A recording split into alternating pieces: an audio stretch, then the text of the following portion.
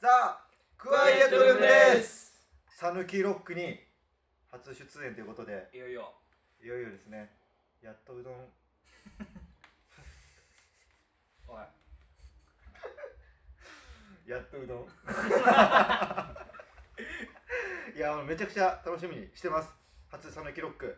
爪痕残しに行きますんでどうぞ。よろしくお願いします。ザ・クワイエットルームでした。